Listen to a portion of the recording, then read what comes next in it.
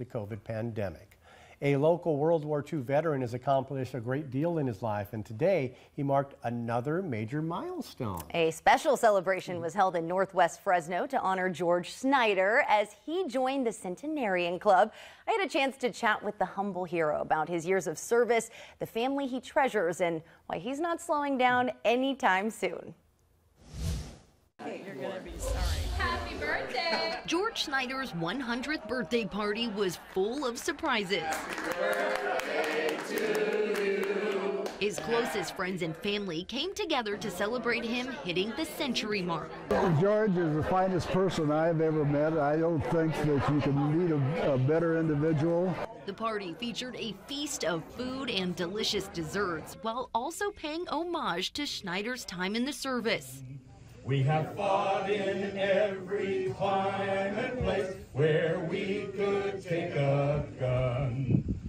World War II veteran, Schneider served with the U.S. Marine Corps from 1944 to 1946.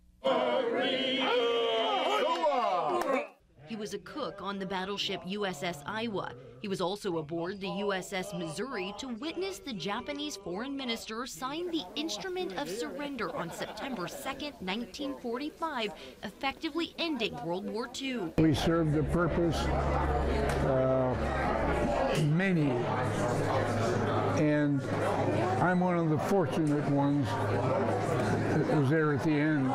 After the military, he worked as a printer for the Fresno Bee for 20 years.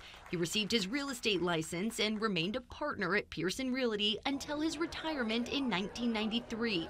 He and his late wife Lydia raised three daughters. He now has five grandchildren and 12 great grandchildren. I enjoyed it. It was fun. It was fun. And the fun continued Wednesday as he cut the cake with an NCO sword, a tradition with the Marines that's completed alongside the youngest member of the military branch in the room. One time I did this, I went through the table. Schneider says he's lucky and not quite sure how or why he made it to 100. You, know, you just keep rolling, and all of a sudden you look back, where the hell did all the years go?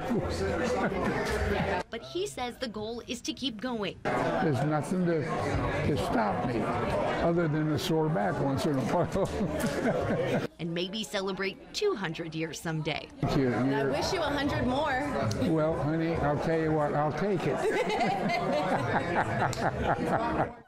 oh, it was such a good time. And Mr. Schneider was honored with multiple challenge coins today, of course, for his service and 100 birthday, including from the Secretary of Veteran Affairs. And of course, you always have to ask the question, what's the right. secret? Mm -hmm. Mr. Schneider says he never really paid attention to time and he doesn't pay attention to what he calls the mismatch that's uh, going on in the world these days. Wow, George Schneider, a Valley treasure. Mm -hmm. Amazing. Happy birthday. You bet.